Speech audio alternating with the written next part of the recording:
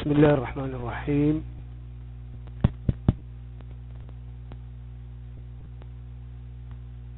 فرج.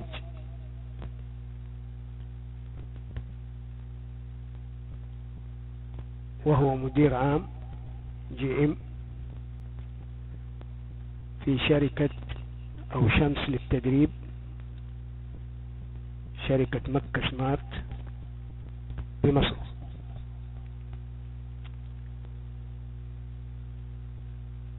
الإيميل gm at mchsmart21.com وأنا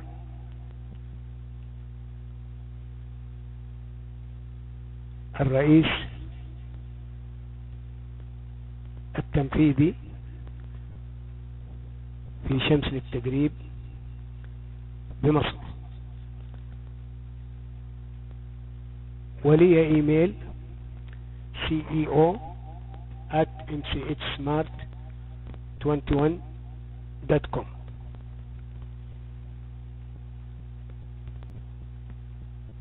فرج وأنا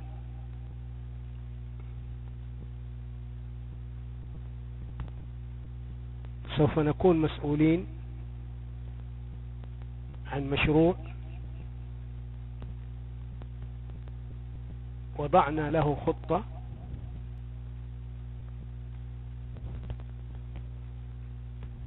وهو سيكون له كتاب أيضا باللغة الإنجليزية عن رحلة التقنية المفقودة.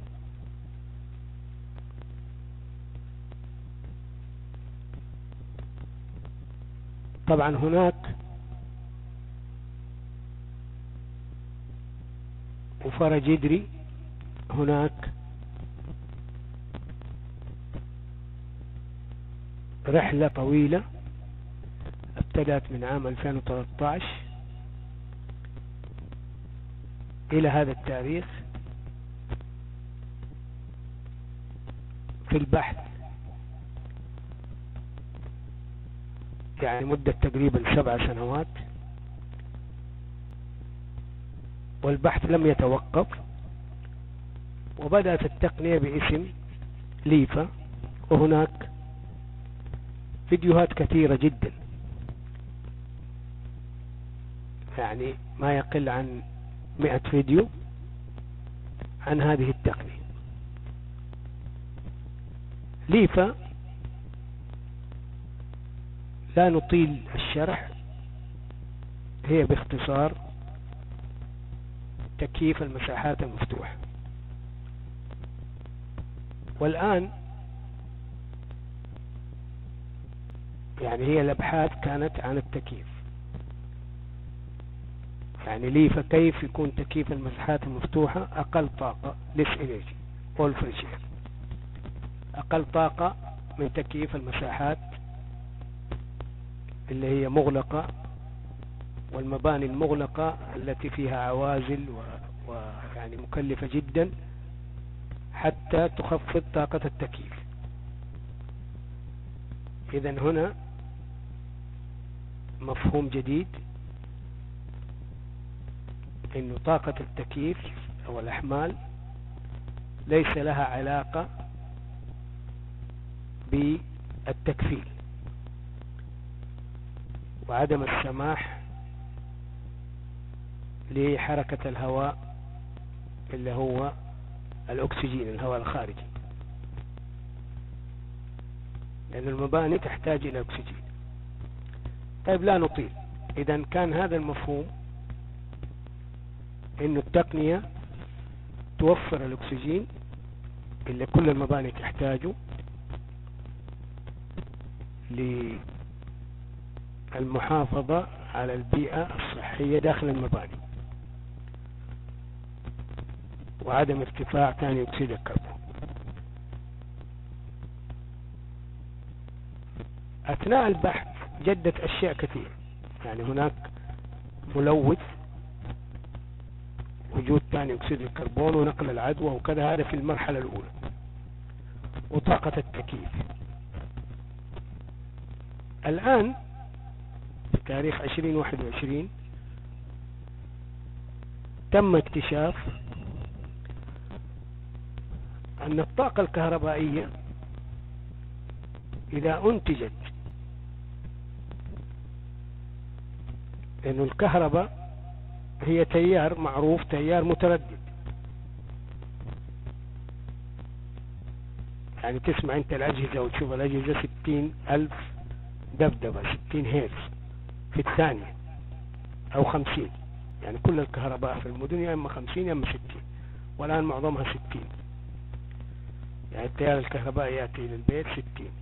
فلذلك الأجهزة لما تكون خمسين تشغلها ستين خمسين يعني تشغلها ممكن تنحرق أما لو كان الكهرباء خمسين الواصلة وتشغل الكهرباء ستين زي الفولت ميتين وعشرين ومية وعشرة يعني لو كان الجهاز ميتين وعشرين شغلته على مية وعشرة يقبل. لكن الجهاز مية وعشرة تشغله على ميتين وعشرين ينحرق. فهذا المفهوم البسيط. إذا ليفا صار فيها تطور لأنه ليفا هي منع التلوث. لأنه نتيجة تخفيض الطاقة تم قفل البيوت يعني كانت المكيفات التكييف كان اللي هو الصحراوي.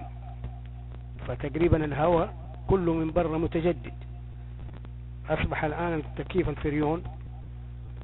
لو خليت البيت مفتوح ويتجدد الهواء يصرف طاقة خمسة أضعاف مثلا. يعني لو فتحت الشبابيك وشغلت المكيف. آه، طبعا هناك فيديوهات لكن في هذا الفيديو موجود بالإنجليزي التطور الجديد.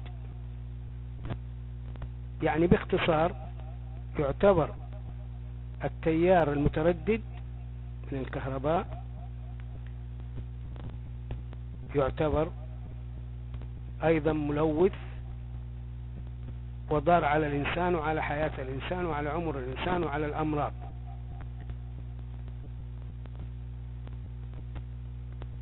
فإذا الكهرباء أيضا ملوثة وأيضا هناك تلوث الضوضاء. التيار الكهربائي والدبدبة دي ستين ألف تذبذب في الثانية له صوت لا نسمعه لكن يؤذي الإنسان. فإذا هناك تلوث الضوضاء. وتلوث الكهرباء من التيار المتردد لها أثر حتى على وكذلك المكيفات لما تكون باردة جوا تكون حارة برا. فإذا في تلوث ارتفاع الحرارة الخارجية في المدن.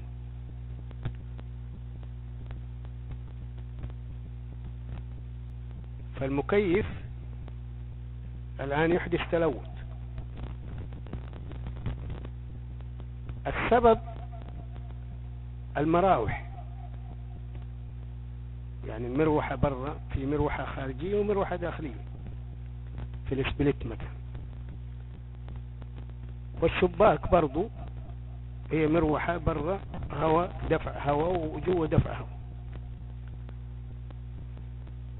فإذا في تلوث حركة الهواء. هنا نقصد على الناس فإذا التلوث الآن ارتفاع حرارة خارج المباني فتلوث ارتفاع الحرارة. داخل المباني تلوث ارتفاع ثاني أكسيد الكربون ونقل العدوى وتلوث فإذا بعد الكورونا نحن نحتاج يعني خلينا نقول الذروة هي الكورونا. يعني كانت ذروة السرطان الآن الكورونا. يعني العالم كله متأثر بالكورونا. فإذا ليفا أصبحت يعني مظلة. الآن انتهى البحث وبدأ التطبيق ننتقل إلى كهرباء الصحراء. كهرباء الصحراء اللي هي الآن الطاقة الشمسية. الدول بتعمل طاقة شمسية. الطاقة الشمسية تنتج تيار بطارية يعني تيار تيار كهربائي ما في ذبذبة زي في العربية في السيارة 12 فولت و14 فولت. فإذا عندنا الآن إننا نحول التيار المتردد إلى تيار كهربائي وفي أجهزة اللي هو الكهرباء تغذي بطاريات زي ما في السيارات الجديدة الآن. والبطاريات تشغل المواطير وفي الإنفرتر وكذا. فإذا الآن حتى الحكومات وكل المشاريع للطاقة الشمسية هي عكس يعني أخذ التيار المنتظم تيار البطارية اللي ما فيه تذبذب ونقله إلى الشبكة الكهربائية الجريد حتى يصل إلى البيوت برضو تيار متردد فهنا نحن ما حلينا المشكلة. فالحل هو إنشاء مساكن ومصانع ومساجد تعمل مباشرة بالتيار الطاقة الشمسية يعني ما تحتاج التيار المتردد. الأجهزة المكيفات وهذا موجود لها حل إنها تعمل مباشرة. هي تعمل. تعمل مباشرة. وخلاصة الموضوع إن المكيف نفسه هو جهاز إنتاج طاقة بدون المغناطيس. وأيضا ماكينة السيارة. فكل المكان تنتج طاقة بدون مغناطيس. أما مواتير الكهرباء تنتج طاقة المغناطيس. وهي هذه الطاقة الملوثة والطاقة التي ستكون في الماضي. يعني سيتحول العالم إلى نبذ الطاقة الصادرة من المغناطيس. يعني الآن السيارات الكهربائية هذه حتعتبر أيضا ملوثة للبيئة لوجود المغناطيس. لأن الموتور الآن كهربائي فهو كهرباء مترددة. يعني أضفنا إلى المساكن السيارات. وهنا في تلوث الدبدبة والتردد والمغناطيس. هل هو أسوأ من تلوث العربيات العادم؟ هذا ما سيكتشفه العالم.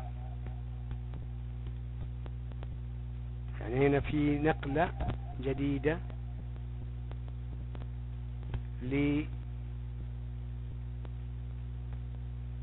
لأثر التلوث فنحن بننتقل إلى الأسوأ.